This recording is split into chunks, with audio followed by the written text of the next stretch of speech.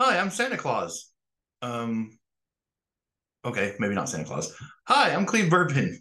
I've written books like um, The Red Mage Ascending, which is my uh, Term Mages series, and I've I've written an entire epic fantasy series uh, called The Shadows of the First Trine, which is all available in my links down below.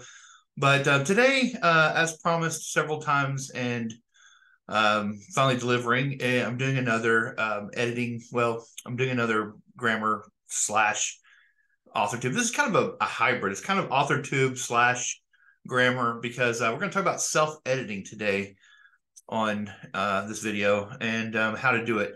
Now, I've been asked to do this by several different authors. Um, apparently, in the author tube out there, there's a lot of um, people that talk about self editing and and and even maybe show a little bit about how to self edit, but they don't really have a, a plan or something they can show. They can do like a workshop. They can workshop it and actually teach you, which is what I'm going to be doing today. So I'm going to try This may be in two parts um, because I don't know how long this is going to be. I'll try to make it brief. Um, before I get to that part, sorry about my little um, cords everything hanging down. But anyway, uh, before I get started, uh, I am working on gunpowder, magic, and lead, and that'll be one of the examples I'm going to show you today with the editing portion of the video. Um, uh, so the book I started in uh, and failed to finish in the month of November, and I'm still writing it here in the month of uh, December. I'm hoping to get it done by the end of the year. But I will. That's one of the examples I will be using. Will be that book, that novel. So um, without any more, well, I don't like to say without further ado because I think everybody says that, but I guess without further ado, let's talk about self editing. Okay. So the first thing about self editing is that it's very difficult, and there's a reason why it's difficult, and that reason is because self editing requires you to use your analytical side of your brain. Now, this is gonna I'm gonna be talking a little bit about my um, degree stuff here, um, so we're gonna get a little bit technical. So bear with me. So technically, what happens is when you create, you're using the right side of your brain, and you're creating your your work, and you're you're making it where you um, make up things and you some authors say lie for a living or whatever or you make up stories and scenarios that's your creative side of your brain. Now your editing side of your brain is the analytical side and it comes from the left hemisphere of your brain. So that's why uh, most time in creative writing courses and even my essay courses with students i tell them do not try to edit and write at the same time. The reason why is because your creative side is on your right side is trying to write something and your analytical editing side is trying to edit it and they're actually working against each other because you're doing it from two different spots in your brain, so you can't switch back and forth. Now, you might say, well, as I write, um, Cleave, I edit as I go along. Well, yeah, that's fine. I mean, if you see a spelling error or or if your word processor has a red line under it or something that says, "Hey, this is wrong," that's perfectly okay. What I'm talking about is trying to be a Mozart out there and write perfectly the first time, even though Mozart really didn't do that. But anyway, um, trying to write something perfect for the first time so that you don't have to go back and edit. You want to, a lot of students try to do this. They try to write the perfect essay uh, with the first draft and try to skip the writing process. And um, there is, you can skip the writing process, but that's not very wise to do. And I'll show you why. The writing process goes as follows. Okay, so you have, uh, and this is the scientific method kind of thing. Well, not really scientific method, but you know, writing process. The first thing is you uh, you draft the, the first draft or write the first draft. So write the first draft. Okay, so this this is the um, exact same. I used to have a poster of this in my classroom.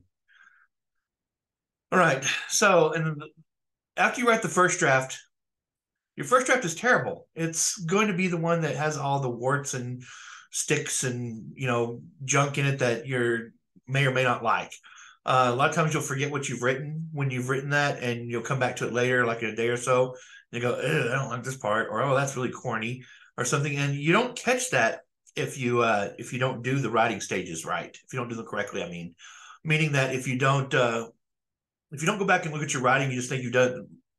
If you try to uh, create and edit at the same time, and you think you don't have to go back and look at it again, you're not going to catch any of the of the corniness and stuff that you're not going to like because you're not going back and reading it. And I've I've been a, I've been a uh, I've been guilty of that sometimes myself, where I thought, well, I've written it perfectly, and you don't have to go back and do it. But that's not that's not the case usually. Most of the time, nine times out of ten, uh, I go back and I look at something. I'm like, oh, that's that's too corny, and I have to change it up some way.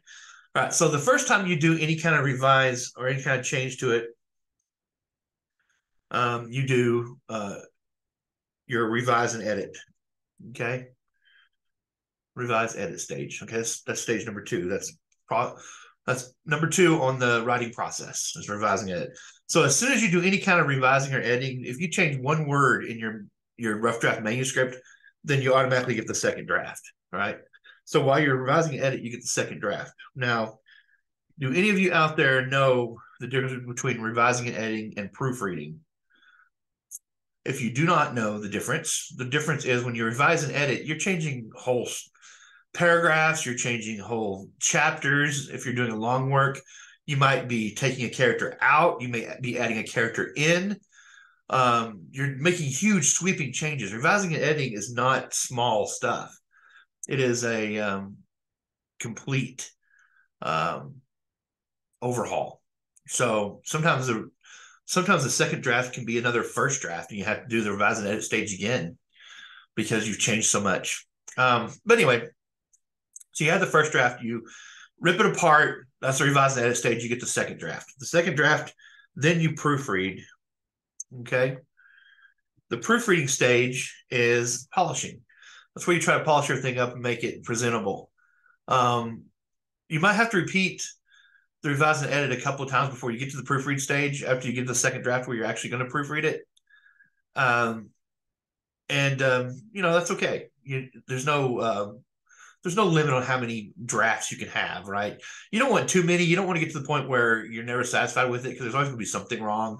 There's always going to be something you're going to be. You're your you're your own worst critic. There's always something that you're going to be looking at that you're like, oh, that, I don't like that. And but if you change it too much, you go back too many times to the well. Um, sometimes you can make it worse. So you got to find that happy medium. Okay, so after you proofread, you get the third draft, right? So the third draft can be the final draft depending on how you did the uh, your proofreading or your revising edit stage, you might end up. It might be the third draft. It might be the fifth draft. You know, and then finally, the last one is publish or turn in. Um, if you're writing a paper, I, I, you have to understand this was for this is for uh, high school and college students too. So uh, this is what was on the poster that I used to have in my classroom: publish or turn in. Now, in our case, with pub with the authors, it's publish. But um, this uh, this is self editing. So where you would probably come into if you're going to do like um, if you're wanting to do this for say you want to turn it into a traditional publisher, or you're wanting to uh, send it to an editor, a freelance editor for further editing, then what you're going to do is when you get to this this stage right here after the proofreading, that third draft or polish or turn in, that turn in is where you turn it into the publisher editor or you turn it to the freelance editor or you turn it to somebody else to further um, work on it. So that would make a final draft um, another step after that. But okay, so this is very important for me to for everybody to understand. The first draft is always the worst draft. First draft, worst draft. Okay, think of it that way. Revise and edit, and you get the second draft. Your second draft is just it's better than your first draft, but it's not publishable. Okay, uh, then it goes to the proofreading phase. Now this is uh, your proofreading phase. You should go through these steps up to this point. You should go through those steps yourself without before you even get to an editor any of any kind. That's this is your self editing phase right here.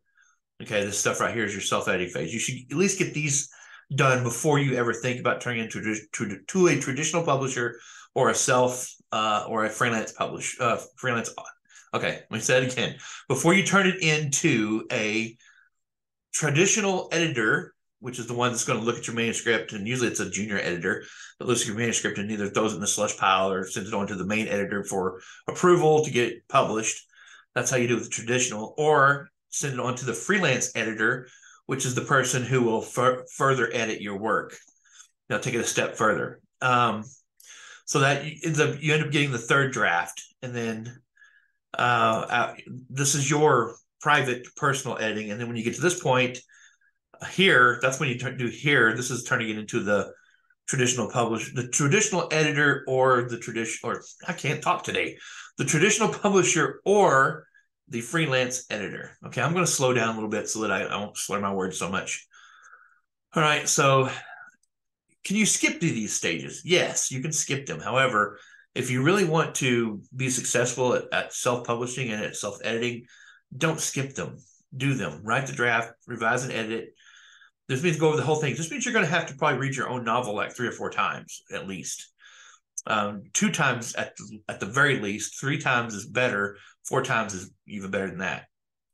Uh, after that many times, I would think that you're going to have diminishing returns. I wouldn't I wouldn't continue to, to do it after that point because then you get to the point where you um, you'll get fatigued and you'll start you know it, it's just not good. Um, if if any of you out there have tried before, then you know after about the fourth draft, fourth time you've done it, you need to put it set aside and take a few days because before you return to it because everything starts running together and you forget things and it's it's not good. So I think up to four times is good.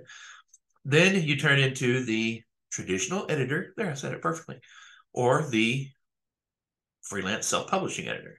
And then you can do the final draft that you actually use to format for your novel. And we'll talk a bit about formatting here in a minute. All right, so that's the writing process. And that's the writing process if you're doing an essay, a novel, a short story, it doesn't matter. It's all the same. All right. So that's the process you should you should uh, adopt. All right. So here is the elephant in the room. Okay, if you're going to self-edit, and you have no idea of, of English grammar and the rules of grammar, I mean, it's pretty easy for me because I have degrees in English. I have a bachelor's degree and a master's degree in English. So what what about the the person who just has a high school education or maybe even dropped out of high school? It's like how how do you know uh, what to look at to self edit, uh, especially if you didn't really pay attention in English class or maybe you failed English or something. Well, here's where you get the resources. There are a lot of resources. Here's one that I used to use a long time ago. Uh, this is a pretty old book now. Um, grammatically correct. You can say it says the writer's essential guide punctuation, spelling, style, usage, and grammar. Now, what all these are, punctuation is your your marks like your commas and your period usage and stuff like that. Spelling, you know what that is. Style could be like style and usage could be, you know, depending on if you're like a novel writer, an author for a novel, um, you may spell like me, I don't use the American spelling for the word gray. I don't use G R A Y. I use the British spelling G R E Y because I write fantasy. And it just seems like gray with G R E Y is more fantasy than G R A Y. I don't know if that's true or not, but gray just, I don't know, it just feels better to me. So my style uh, that I use in my style sheet that I send to my editor will say I spell gray with G R E Y. Uh, there's another author that was a fantasy author that he spelled wagon G uh, W A G G O N instead of W A G O N, and he put that in his style guide for his editor, saying don't change those because uh, that's the way I spell it. Um, famously, Tolkien, who wrote Lord of the Rings, um, you know, the plural of, or if, if you're saying something is of elves, it's supposed to be in the English language, it's supposed to be elf, elfin. That is elfin, but he did not like that because for whatever reason, he didn't like it, and so he changed Elfin to Elfish or Elvish or elven, Elvin instead of Elfish or Elfin, um, and things along those lines. So, and that's his style. So it was in his style manual when, you know, of course, he edited himself. Okay, so there's this book, and then there's other books on the market. Perfect English Grammar. I have a few of these examples. Um, now these these guides have, uh, you know, they tell you how to. There's one on punctuation showing you how to do a period uh, ending a sentence, things like that. Um, it's just basic grammar knowledge. These books are good resources. Um, here's another one, like I said, or toot my own horn a little bit. I've actually written one. So this is my grammar book. Um, and I put a lot of stuff in here that's more oriented towards authorship. So, and it's available everywhere, but you by no means have to get mine. Um, yes, I do put stuff in here that helps with authorship, but so does this book, and so does this book, and just about any other grammar book that you can find out there. Um, you know, of course, I'm going to be biased towards my own, but you know, all right. There's one other resource that you could use to help you with editing, uh, and that's Google. Google it. Uh, the reason why I leave that one last is because you're trusting that people who answer your Google question or uh, the website that you land on that it's reputable and that it's not you know there's other there's other countries that use english there's the uk of course and they're going to have different spellings uh, there's australian there's south african there's american of course. And all of them have not only just different spellings but they have some different rules and stuff. So you're trusting uh, the website. So i would trust a book probably more than i would trust google but Google in a pinch will work. Um, you know, you know, you can kind of filter through and figure out uh, who's reputable and who's not. You can probably tell pretty quickly. And um, another thing with Google that you can do is if you're not really sure, you can get several different opinions. There's lots of people on Google, so you can. Um, if I if I ever have a question that I'm kind of questionable about, I'll Google it different by wording it differently several different times and if all the advice is still the same, then I'm like, okay, well, then they know what they're talking about. Um, if it's wildly different and I'm like not sure about it, because I'm like, okay, this person says this and this person says that, and I don't know which one to ch- trust, I'll go to a style manual or I'll go to my, uh, it's not my own book, but I'll go to one of these books, one of, in my library. I have an extensive library, of course, being an English teacher, of books that I use to teach with and things like that before I wrote wrote my grammar novel. My grammar novel was written, not novel.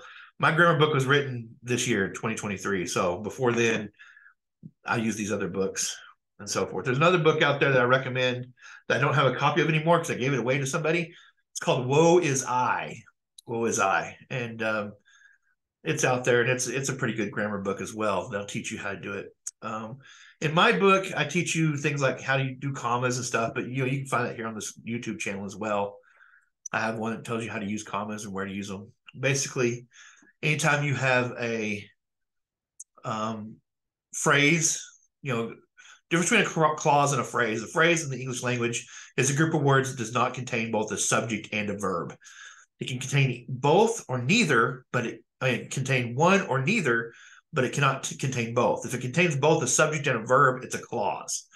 So if a phrase opens a sentence like a prepositional phrase or a participial phrase or any kind of phrase opens a sentence, you usually always put a comma after it, after the after the phrase. If it if there's two phrases, like at the end of a long day is two prepositional phrases.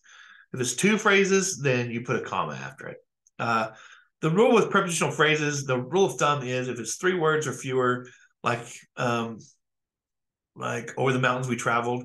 Over the mountains is only three words. You wouldn't really need a comma there because you know it's it's understood. Uh, however, if you put a comma there, it would not be wrong. But if it's like over the Rocky Mountains we traveled, if it's four words or more, you're supposed to put a comma. But um, if you're one to to err on caution, than any kind of phrase that opens a sentence, no matter how long, put a comma after it. It's fine. Um, but that's that's another grammar lesson. That you know, again, you can find that in my comment lessons. All right, so I don't know where we are on time, but I'm going to jump into um, the uh, editing, some some editing here. So let me share the screen. All right, so this is a, a chapter out of my um, Gunpowder Magic and Lead novel that I'm working on. I picked chapter three because some of the other chapters have some cursing in it and things, and and even though it's mild, uh, for in case there's young ones looking at this or, or college students or uh, well not college but you know high school students or whatever i didn't want to have a bunch of even mild cursing in it. Uh, so i picked one that didn't have a lot of cursing or, or anything in it. Um, okay so this is chapter three the old place all right so the way i edit is um, okay this is a prepositional phrase here after about a three hour ride okay this being a prepositional phrase of course there's going to be a comma after it um, if it's three words or fewer, you don't have to put a comma, like I said earlier. However, if you don't want to ever make a mistake, it's not wrong to put a comma after a phrase that opens a sentence. Now, if this phrase was at the end of the sentence, like Oren uh, turned off the main road into the woods after about a three hour ride. If I did it that way, there would be no commas at all because this is the main clause. In other words, it's the main part of the sentence. Now, how do I know this? Because you look it up in the book. if you're if you're unsure, you're like, do I put a comma here? You you you look in a book, or if you're unsure what kind of phrase this is, look up after and see what what part of speech is after. Google that; it'll tell you it's a preposition. All right. Um, so that's way you do it. once you get used to that and you actually learn some of that stuff, and you you you consult the books and you consult um, Google after a while and after a few novels, you'll start just picking it up. Um, grammar is very much like a musical instrument. Uh, I actually played bass guitar, and uh, I played trombone in high school and junior high and high school from like fourth grade all the way through senior year. Um, when I first learned how to play the trombone back in fourth grade, we learned the staff, we learned the notes on the staff and where it was on the trombone slide, where the note was, and how, how much force to put in your your armature on your uh, uh, mouthpiece and things like that. Um, by the time I got to high school, I wasn't thinking, okay, the the note on the first line of the staff is an F. I wasn't thinking that anymore. I just automatically went to first position and played an F because I, I looked at it, I know where it's at, I know where it's at on my instrument, I just go there and did it. I didn't think about it, and I don't have to worry about it. I just knew it. Okay, that's how grammar is. Once you learn it and you you get the basics down, eventually you you no longer have to think, do I put a comma there or not? You just do it or don't do it, depending on how what you know. So once you learn it, uh, you just you you pick it up, you just get it. All right. Now, if you're thinking, oh, that's easy for you to say, you have degrees in English. Well, I didn't always have degrees in English. I was a struggling student once. I had trouble with commas big time. I wanted to put a comma anywhere there was a pause in the sentence because I thought that would be a good place for a comma because you know you pause. No, that's not what you do. That's not at all what you do. So I mean, I, I got nailed on commas a lot. Um, and I have a lot of grammar the, on this YouTube channel. If you want to go back and look at the actual parts of speech grammar, it's it's available.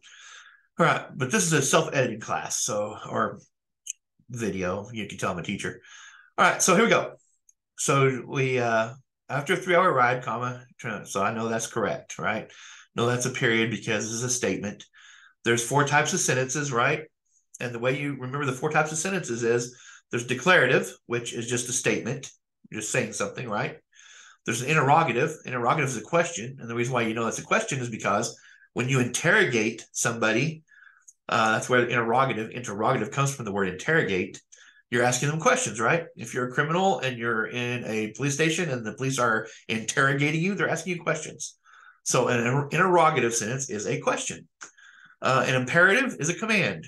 You know, uh, if you work for a living out there in the real world, especially as a teacher, they would used to say things like, "We're going to give you an imperative." It meant they were going to give you some sort of command. They just didn't want to call it a command, right? So an imperative uh, always has the understood you as the subject. In other words, like get me some iced tea or bring me a coffee. Um, you're not saying uh, the subject when you're when you're using an imperative. When you say bring me coffee or can you uh, bring me you know a sandwich, when you're saying it that way, it's understood you. You're actually saying you bring me a sandwich or you bring me coffee. Uh, we just don't say the the understood um, you. If you say, "Would you bring me some coffee?" then that's an interrogative, right? Um, that's a question. And then the last one is the exclamatory sentence. Exclamatory sentences have the, the exclamation point on the end and they're, they show emotion. So to recap that, declarative statement, interrogative question, imperative is a is a command, and a exclamatory is a sentence that has emotion in it, like "look out, the car's coming" or something, or "jump, jump" or whatever. You know, there's uh, jump is kind of a imperative and an exclamatory because it's like saying you jump. So the word jump is a complete sentence, right? Because anyway, we get to you know you know. All right, so if you know those kind of sentences, then you you know that punctuating them is going to be different. This is a declarative because it has a period, and not just because it has a period, but it is declarative. It's just a statement. All right, if we're asking a question, it's going to have a question mark. If you're doing, if you're showing emotion, like look out for that car or whatever, you're going to put an exclamation point. Uh, in formal writing, as well as in novel writing, your exclamation point you should only put one.